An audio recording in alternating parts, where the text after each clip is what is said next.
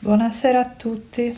Purtroppo le mie attuali condizioni fisiche eh, non mi permettono di mostrarmi nel modo in cui io avrei voluto e, e dunque mi nascondo dietro a questo schermo, ma vi prometto che sarò breve, però ci tengo a precisare alcune cose. Allora, secondo il mio modesto parere, fondare la campagna elettorale non sulla valorizzazione del proprio programma, ma sulla menzogna verso l'avversario, credo sia un segno di grande debolezza.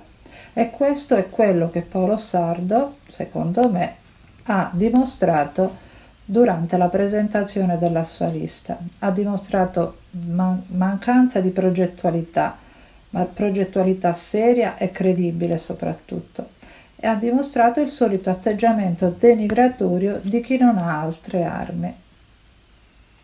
Durante questa campagna elettorale, eh, mantenendo la parola che ci eravamo dati, perché proprio questo ci eravamo ripromessi di parlare sui programmi e non eh, colpire le persone, siamo sempre stati corretti e mai infamanti. Gli attacchi sono arrivati sempre dall'altra parte e ci siamo dovuti difendere.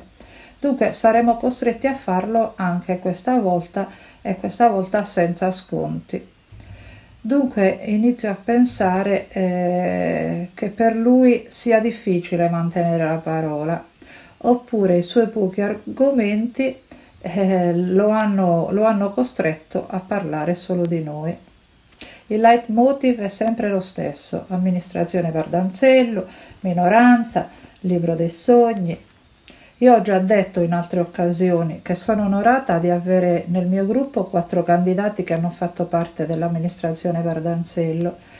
È un'amministrazione che non ha creato i danni irreversibili di altre amministrazioni, come ad esempio la cementificazione selvaggia che ci ha portato purtroppo ad avere un target di turismo di livello medio-basso. Ha lasciato un bilancio attivo, ha realizzato diverse opere, tante altre le ha lasciate da ultimare e altre finanziate. Cosa si può dire sulla minoranza? Siamo sempre stati presenti in consiglio per tutti i cinque anni, cosa non sempre scontata. Abbiamo svolto il nostro lavoro con puntualità e con coscienza, nel rispetto del mandato che i cittadini ci hanno conferito. Il nostro ruolo non ha mai avuto il rispetto che merita, però. Abbiamo sempre chiesto di poter collaborare e creare le commissioni consiliari proprio per essere coinvolti direttamente nella macchina amministrativa, ma le nostre richieste non sono mai state ascoltate. Questo Infatti è il motivo per il quale io non credo ad una parola quando Sardo esterna la volontà di voler instaurare un dialogo con la minoranza. La modalità di non ascolto l'ha accettata per cinque anni con convinzione e più volte ha detto che il ruolo della minoranza è pari a zero. Cosa abbiamo fatto? Abbiamo prodotto centinaia di dichiarazioni di voto con suggerimenti e interrogazioni che non hanno mai trovato riscontro se non dopo anni e senza darcene merito, tra l'altro, come ad esempio eh, le isole ecologiche che noi proponemmo per porre rimedio alla situazione eh, dell'abbandono dei rifiuti nelle strade, oppure esprimendo la nostra totale contrarietà alla costruzione dell'ecocentro in una zona di pregio come quella di Buoncamino e come se non bastasse anche l'ingresso del paese. Ehm, ha parlato anche della nostra contrarietà all'acquisto dell'ambulanza. Falso. Nessuna contrarietà c'è mai stata all'acquisto dell'ambulanza. Noi abbiamo spiegato più volte che la nostra espressione di voto contrario alle approvazioni di bilancio preventivo e consuntivo e, e a tutte le sue variazioni hanno una motivazione fondata, cioè praticamente la totale mancanza di informazione e di coinvolgimento nelle scelte e di conseguenza ci siamo tenuti lontano da quegli atti che, che appunto implicano una responsabilità penale. Dunque, eh, con questi interventi Paolo Sardo ha mostrato la sua spiccata malafede, che eh, esprime una chiara personalità di quell'amministratore inaffidabile che già prima di essere eletto racconta menzogne. Figuriamoci quanto ce ne racconterà quando, se veramente avrà l'opportunità di, eh, di diventare sindaco. Allora sta facendo dell'ambiente il suo cavallo di battaglia. Voglio ricordare a Paolo che ambiente non è solo area marina protetta, di cui lui tra l'altro non ha nessun merito per la sua istituzione. Ambiente vuol dire anche ecocentro collocato in altro luogo, vuol dire rimediare ai rifiuti sparsi per il territorio, vuol dire spiagge pulite non, dal, non solo dal mese di luglio, vuol dire tutelare il Rena Bianca, vuol dire rimediare al disagio degli utenti, soprattutto quelli commerciali per la raccolta differenziata, vuol dire pulizia del centro storico e vuol dire anche trovare quelle strategie per reperire più personale per affrontare appunto la stagione estiva eh, nel settore smaltimento rifiuti. Ma eh, rimango perplessa perché non si è neanche reso conto che alcuni interventi dei suoi candidati hanno rimarcato esclusivamente le criticità riguardanti i settori curati da questi amministratori uscenti che però noi ci ritroviamo in questa lista è il momento. E dunque inizio a pensare che forse lì ci sia un concentrato di incapaci, eh, naturalmente riferito a questi amministratori che hanno già fatto esperienza. Gli altri non mi permetto di, di, di considerarli perché chiaramente eh, non li conosco in modo approfondito, dunque me ne guarderei bene. Dunque, eh, cito qualche intervento. Eh, l'intervento del candidato Brunetto il quale ci ha illustrato la situazione disastrosa di Calagrande, alla quale anche noi intendiamo chiaramente porre fine. Ma c'è una sostanziale differenza tra noi e loro.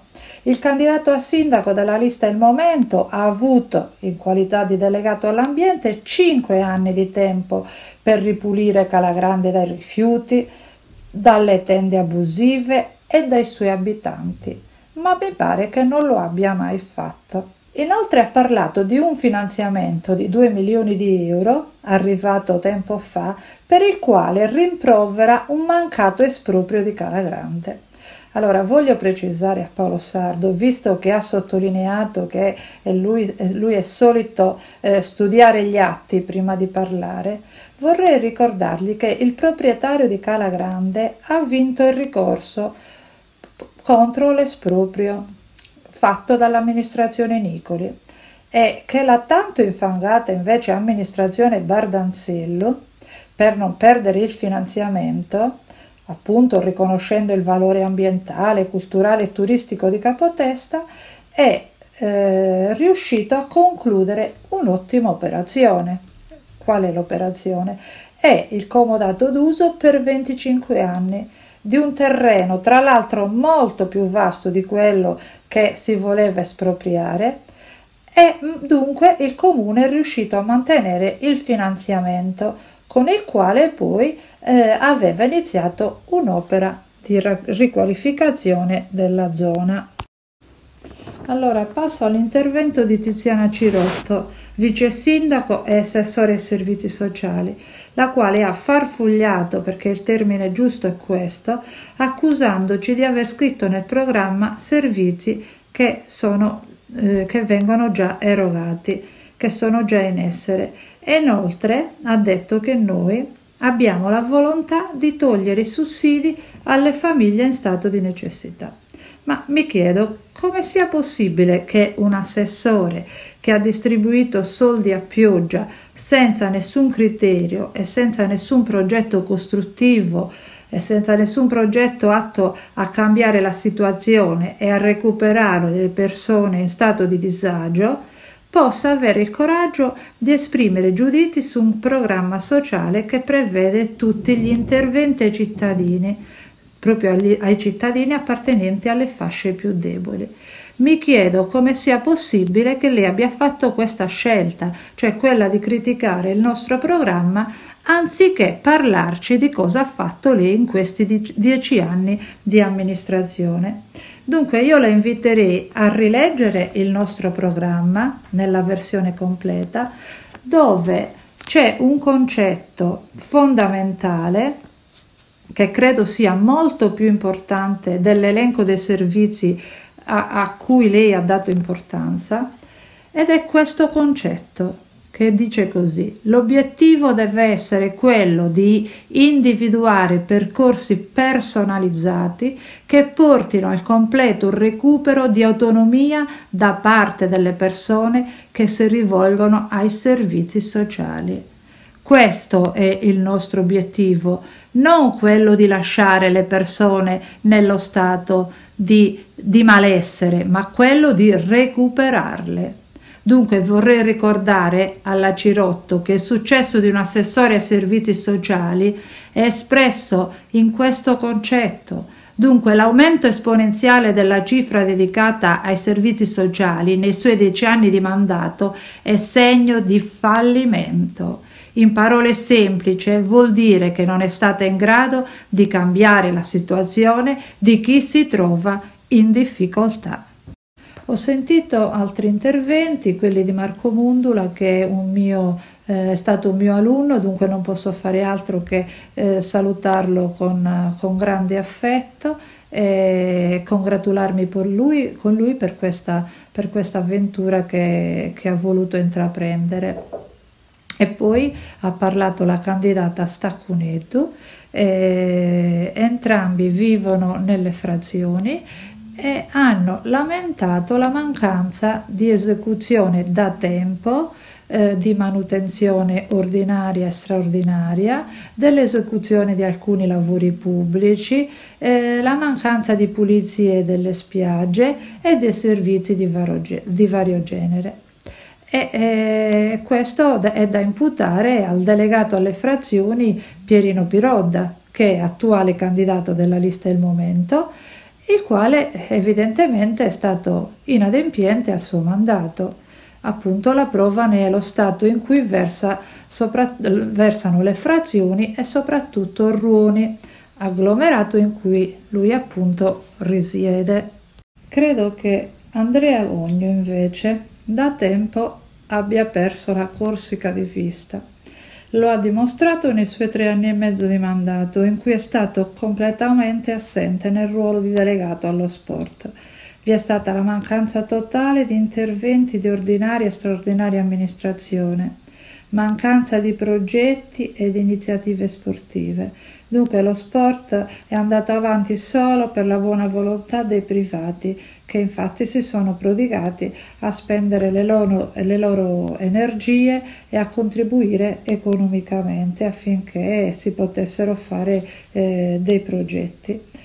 Nel suo intervento parla di area marina protetta, esprimendo concetti, secondo me, assolutamente retorici, perché è chiaro che tutti teniamo alla tutela dell'ambiente, ma non dimentichiamo che la nostra economia è basata sul mare e che vi saranno tantissime attività locali che subiranno grossi danni economici se si continuerà a mantenere un regolamento così restrittivo.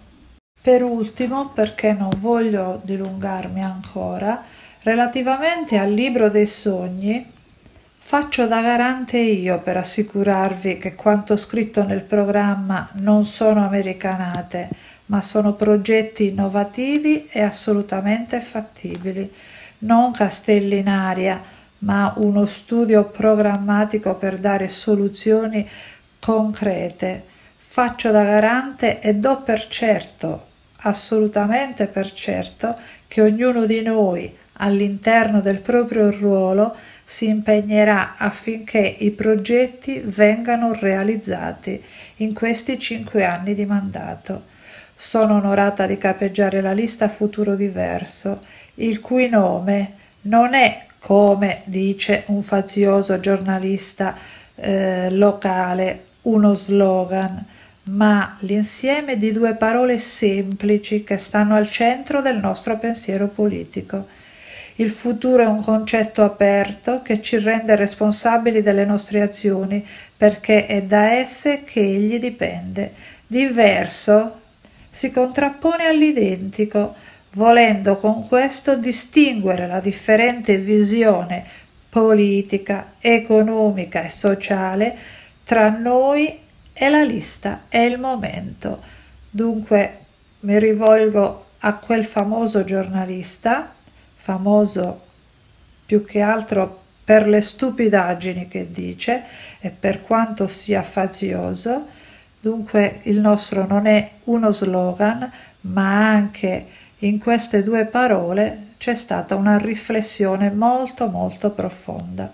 Nel trovare queste due parole c'è stata una riflessione profonda, glielo ripeto. Mi dispiace, ma sono dovuta ricorrere all'arma della difesa in questi termini. E sicuramente avrei preferito una chiusura di campagna elettorale diversa, anche perché sono convinta che per dimostrare quanto si vale non sia necessario assolutamente denigrare gli altri. Concludo dunque con un pensiero di cui sono sempre più convinta. Per amministrare è necessario ponderare, valutare, avere cautela, essere seri, leali, sinceri, liberi dai dinosauri della politica. Ora vi saluto e lascio la parola ai miei candidati che, che manifesteranno il loro pensiero relativamente ad alcuni punti programmatici a cui tengono molto. Buona serata. Per fortuna il buon Dio ci ha dato due guance, ma non la terza. Come dice il candidato sindaco della lista numero uno, chissà quante cose faranno di buono quando raggiungeranno la nostra età. Spero tante. Ai posteri però la dimostrazione. Ma mi chiedo, non vorranno fare la loro esperienza alle spalle dei cittadini teresini? Però, se mi consentite, vorrei tornare indietro nel tempo, vorrei mettermi al loro stesso piano. Che cosa facevo quando avevo la loro età? Comandavo un ufficio periferico delle capitanerie di porto Guardia Costiera nelle Cinque Terre Sicur eh, e difendevo l'ambiente. Sicuramente saprete che lì L'area marina protetta esiste dal 1997. Per inciso, continua a difenderlo tutt'oggi. A riguardo dell'insinuazione di aver perso la Corsica di vista, avete sbagliato persona, perché sono un marinaio e provengo da una famiglia di marinai, da generazioni. E veniamo al paventato problema dell'erosione della spiaggia, che potrebbe sorgere con la creazione di una banchina per maxi yacht e navi da crociera. A proposito, mi consigliano di dire piccole navi da crociera. È ovvio che non intendevo far atterrare a Santa Teresa la Queen Elizabeth II o la Oasis of the Sea. Questa banchina, ribadisco, è totalmente a carico dell'autorità del sistema del mare di Sardegna, non è altro che il prolungamento della banchina esistente. Cioè, mi spiego meglio, andrebbe a sostituire gli scogli in tufo che si estendono verso nord, quindi senza modificare la linea di costa. Vorrei darvi un ulteriore spunto di riflessione. Ricordo che nel novembre 2017 erano stati assegnati dei finanziamenti da parte della Regione Sardegna, dall'uscente amministrazione Pigliaru, per un aumento della suddetta banchina di circa 25 metri. È lo studio di fattibilità idraulico, mi chiederete voi. Io credo che Pigliaru non avrebbe concesso dei fondi senza questo studio. Come voi tutti saprete, qualche anno fa la banchina commerciale, dove oggi attraccano i traghetti per la Corsica, non esisteva. Ebbene, sono stati rimossi gli scogli preesistenti nella zona ed è stata costruita la banchina, non mi sembra che questo intervento abbia eroso la spiaggia Rena Bianca. Non si sono limitati a questo, hanno dragato il fondale per raggiungere le profondità richieste. Già che ci siamo, per non tornarci sopra ulteriormente, Affermo che le navi di ultima generazione hanno sistemi di propulsione azimutale chiamati azipod che consentono alle navi di attraccare senza l'ausilio di rimorchiatori. In secondo luogo, le navi che già abbiamo inteso prima, cioè quelle eh, maxi yacht e quelle da crociera, sono costruite e regolarmente ispezionate avvalendosi di alcune convenzioni internazionali e regolamenti comunitari tipo MARPOL, MRV e anti-falling, eccetera che mi consentono di definire tali navi meno inquinanti in proporzione delle imbarcazioni da diporto che solcano i nostri mari. Per quanto riguarda invece il ritorno economico, lascio a voi la valutazione, senza parlare dell'immagine e della pubblicità che Santa Teresa conseguirebbe dal punto di vista turistico. A proposito della parola ambiente, che sta diventando un leitmotiv di questa campagna elettorale, soprattutto da parte della lista numero uno, cosa avete previsto per il sistema di depurazione? Considerato che non depura nella maniera appropriata. Già, il risultato non si vede, essendo che le acque reflue scaricano sott'acqua. Che danni ambientali starà facendo? Voi presentate il progetto della spiaggia Rena Bianca quale fiore all'occhiello del vostro programma elettorale. Ma se è così importante, perché non è stato elaborato prima, quando il candidato sindaco era assessore all'ambiente dell'amministrazione Pisciotto? Voi volete proteggere Rena Bianca, ma non salvaguardate il mare in cui è immersa. Mi pare che ad aver perso la Corsica di vista siate voi. Buonasera, facciamo insieme alcune brevi riflessioni, soprattutto eh, relativamente all'ambiente e in particolar modo al, al depuratore e all'ecocentro. Il nostro, un nostro ambizioso progetto è quello del, di spostare e ricollocare l'attuale depuratore e, e anche l'ecocentro. L'attuale collocazione dell'ecocentro contrasta enormemente con la nostra visione e con la possibilità di sviluppo dell'area archeologica di Buoncammino e quindi col conseguente, col concetto di sviluppo ambientale che è basato proprio sul rispetto e sulla salvaguardia dell'ambiente. Il depuratore è una struttura eh, estremamente impattante collocata in una zona sensibile che è la vetrina d'ingresso e oggi ancora più penalizzata dal recente intervento di costruzione di un discount limitrofo. Tutto ciò sarà realizzato chiaramente individuando una zona di territorio adeguata e adatta e secondo dei criteri e percorsi che saranno decisamente condivisi con l'intera popolazione. È sicuramente un progetto ambizioso e complesso, ma riteniamo che sia assolutamente necessario, soprattutto se vogliamo ragionare in termini di tutela ambientale come volano di un'economia duratura. Siamo anche coscienti del grosso impegno economico, ma stiamo creando le premesse per cui tutto ciò possa avvenire.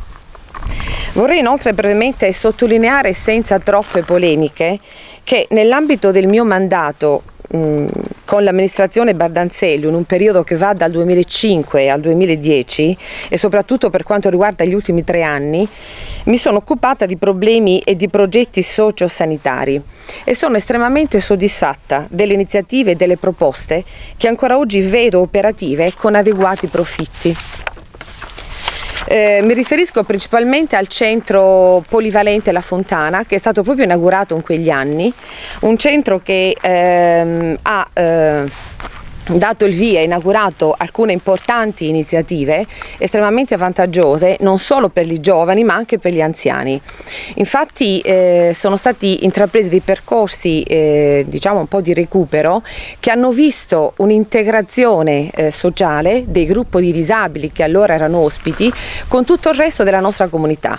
Sono stati avviati inoltre dei progetti relativi a dei laboratori di cucina, eh, progetto per gli anziani di ginnastica dolce, le gite eh, sociali, oltre che eh, chiaramente anche del, la festa dell'anziano cosiddetta che si è riproposta poi per diversi anni e che ha avuto molto successo. Inoltre c'è stato anche un, un, un, un, importante obiettivo che è la realizzazione della farmacia comunale che ha eh, rivitalizzato sicuramente il borgo eh, di Porto Pozzo e ha eh, dato anche in diverse occasioni un ampio respiro dal punto di vista economico alla nostra società partecipata è stato ristrutturato l'edificio che oltre ad ospitare la farmacia ospita anche l'ufficio turistico eh, che potrebbe anche essere utilizzato, ora vedremo, anche per diversi altri, altri scopi. Eh, l'intervento oh, diciamo che in ambito sociale è un intervento molto delicato, è urgente e anche complesso, anche perché la contingenza che stiamo vivendo sta creando delle grosse difficoltà e sta minacciando seriamente i nostri equilibri emotivi, oltre che economici e sociali.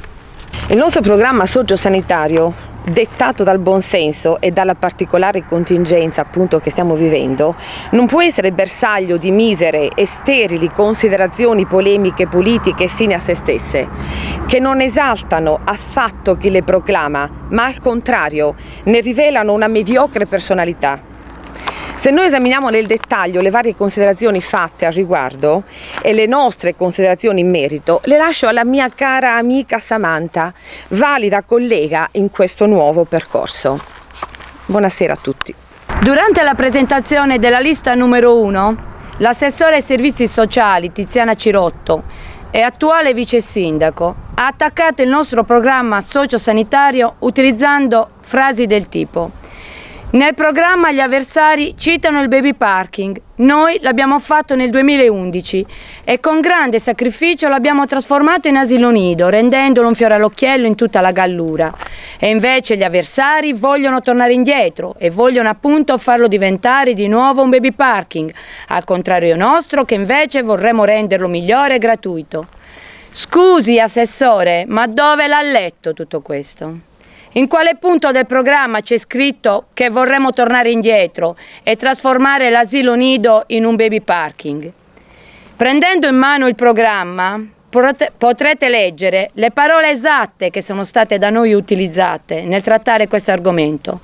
Favoriremo la realizzazione di un servizio socio-educativo e di sostegno alla genitorialità ai quali ciascun nucleo familiare potrà accedervi in base alle diverse esigenze. Ludoteca, nido famiglia, baby parking. Favorire la realizzazione vuol dire creare un servizio ex novo, fine a se stesso e non da sostituire ad un altro servizio italiano. Assessore, non ci mette in bocca parole che non abbiamo detto e scritto. I nonni non ci sono? Mamma e papà lavorano tante ore ed i bimbi non possono rimanere soli a casa? Dobbiamo fare una visita medica e non vogliamo portare con noi i nostri piccoli? E così tanti altri esempi di situazioni in cui sarebbe meglio avere un punto d'appoggio, a cui affidare i figli per poter fare altro, con la tranquillità di sapere che i nostri cuccioli sono in un posto sicuro, in cui si stanno magari anche divertendo. Il baby parking sarà un servizio di custodia oraria dedicato ai bambini dai 13 mesi ai 6 anni. Dentro il servizio i bambini non sono lasciati a se stessi. I piccoli saranno seguiti da educatori professionisti educatori professionisti per tutto il tempo che serve. La differenza rispetto all'asilo nido, cui comunque il baby parking somiglia, al punto che anche alcuni asili nido offrono il servizio di baby parking. La differenza è che non bisogna iscriversi per accedere e si può entrare e uscire in qualunque momento, compatibilmente con gli orari di apertura. Il baby parking si pagherà a ore con prezzi ridotti e molto competitivi, mentre per i più assidui ci saranno formule ancora più vantaggiose come l'abbonamento oppure pacchetti prepagati da consumare di volta in volta in base alle proprie necessità. Il baby parking non sarà il classico castello con scivoli e palloncini colorati, ma una struttura gestita da professionisti dove verranno organizzate anche attività e laboratori creativi, corsi di lingua straniera e la possibilità di ospitare feste. Nei baby parking però non si potrà cucinare e distribuire pasti per i bambini. Il nostro gruppo politico ha già individuato la struttura che potrà essere utilizzata per la realizzazione di tale progetto. Altra frase dell'assessore ai servizi sociali è stata un altro punto allucinante, eh, ci scusiamo per questo assessore, eh, sempre dal mio punto di vista che ho riscontrato nell'altro programma, è, è, il fatto che venga citata una figura professionale che si chiama tag mutter. Sarebbero delle madri che dovrebbero accudire i nostri figli, a differenza di quello su cui noi stiamo puntando, che è la formazione quindi con degli educatori formati. Caro Assessore, è buona norma, prima di sparare a zero sui programmi altrui, che si informi sugli argomenti che intende attaccare, piuttosto che rischiare di fare un brutto scivolone.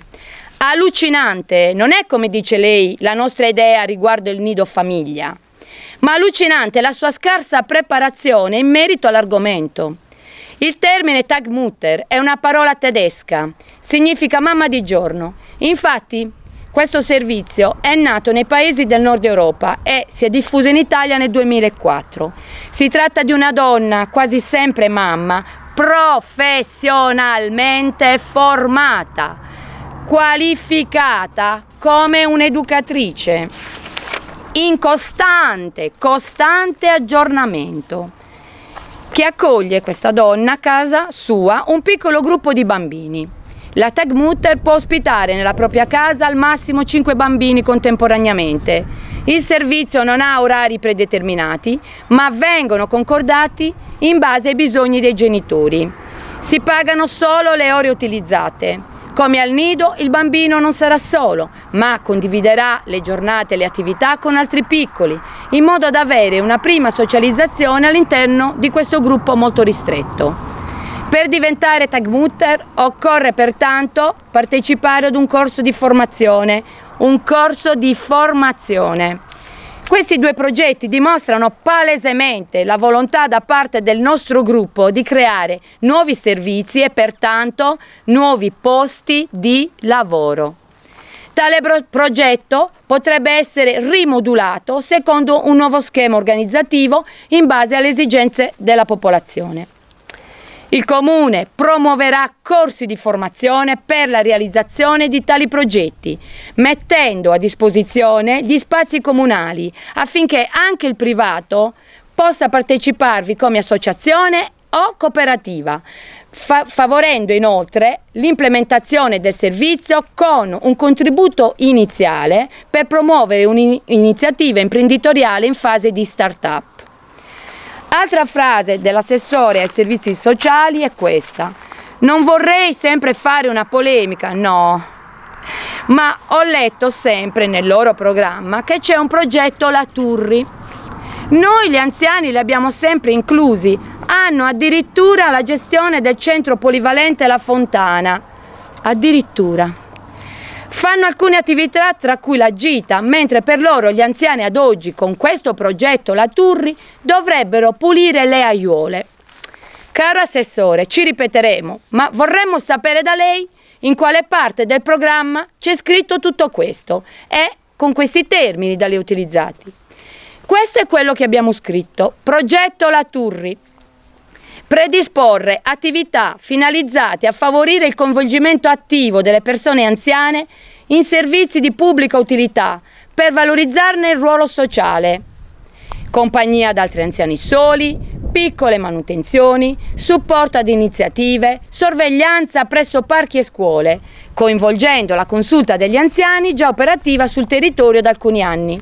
Caro Assessore, questo progetto è stato da noi pensato per promuovere tra la comunità degli anziani la formula del tempo attivo, ossia un tempo di crescita umana, con attività di impegno, di servizio e di lavoro sociale attivo.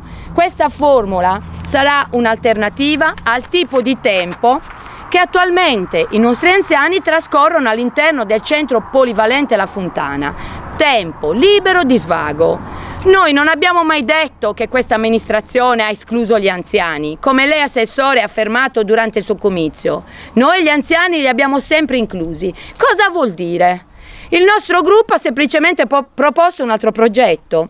Le attività di impegno saranno concordate con gli, stessi anziani e se qualcuno di loro volesse occuparsi del verde pubblico sarà da noi fortemente sostenuto nella sua iniziativa perché per noi per i valori che ci contraddistinguono, non è una vergogna toccare la terra o addirittura poterla lavorare, mentre per loro gli anziani dovrebbero pulire le aiuole, citazione dell'assessore.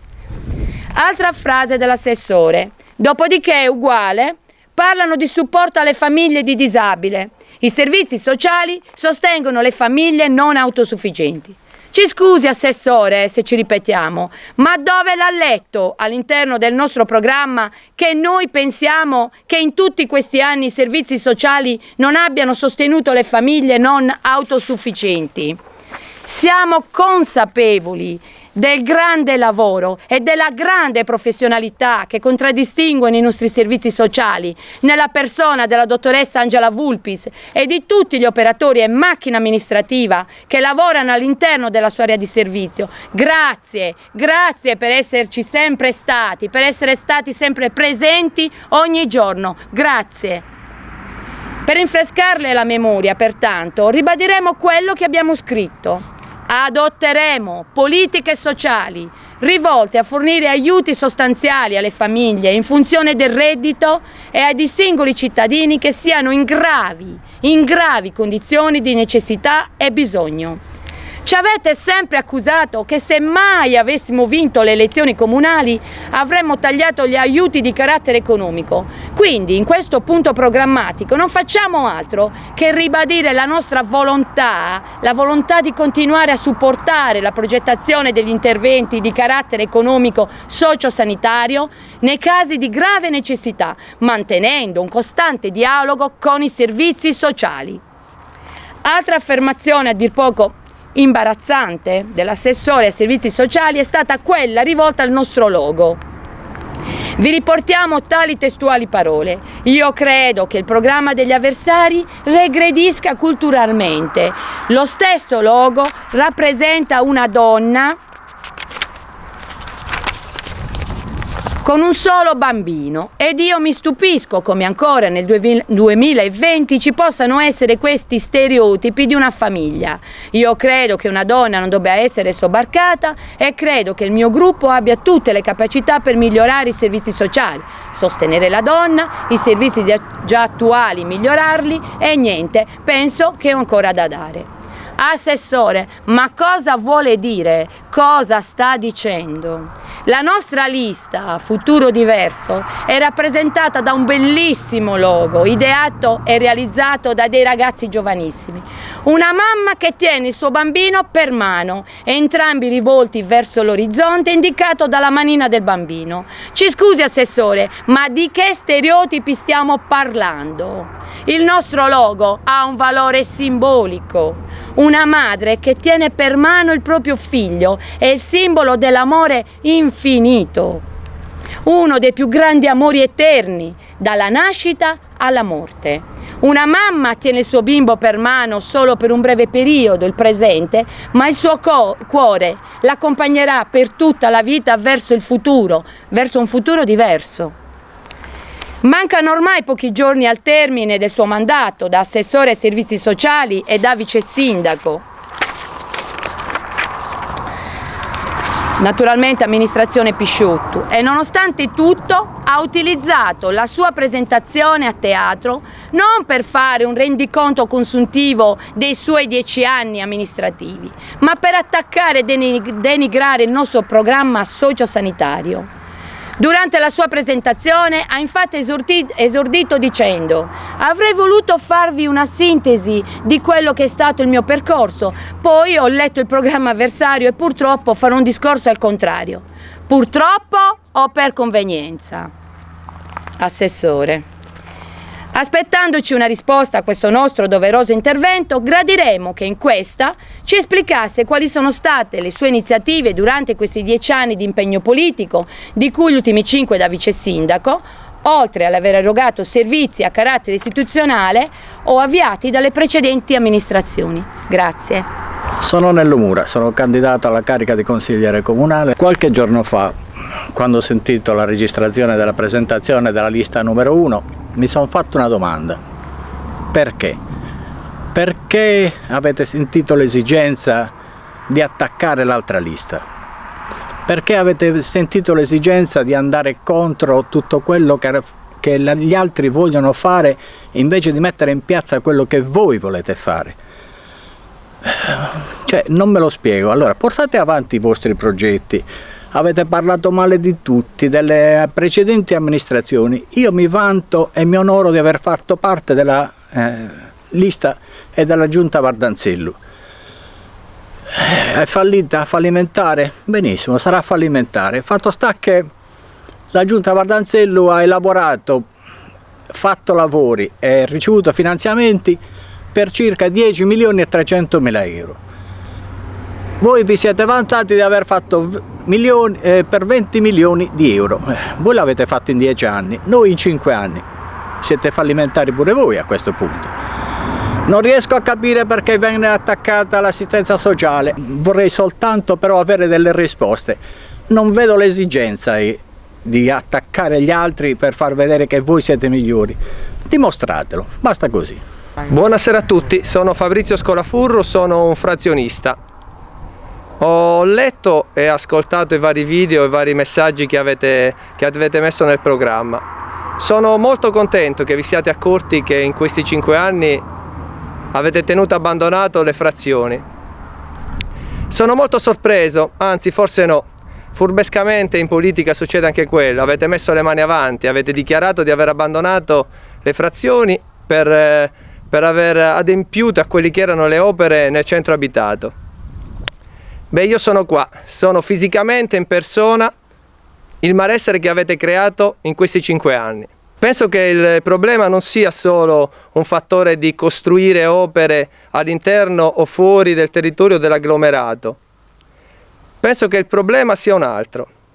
Oltre a non aver adempiuto al programma di cinque anni fa, voi eh, avete mancato nella base proprio, non avete dialogato con la gente, dialogato con le frazioni. Avevamo un rappresentante per le frazioni, anche costui non si è fatto portavoce di tutte quelle che erano le voci popolari. Bisogna ascoltare tutti, sia chi ti vota sia chi non ti vota. Anzi, un politico dovrebbe ascoltare prima chi non ha votato che chi vota. Paolo è stato molto, il futuro candidato sindaco, molto attento in questo. Il programma verte su una posizione particolare che è quella l'attenzione alle frazioni. Spero vivamente che questo lo facciamo noi. Paolo, volevo anche chiederti un'altra cosa. Hai dichiarato che sei stato attaccato, io ho chiesto anche agli altri candidati dove avessimo mai attaccato il vostro programma o a voi direttamente. Non ho ricevuto nessuna risposta.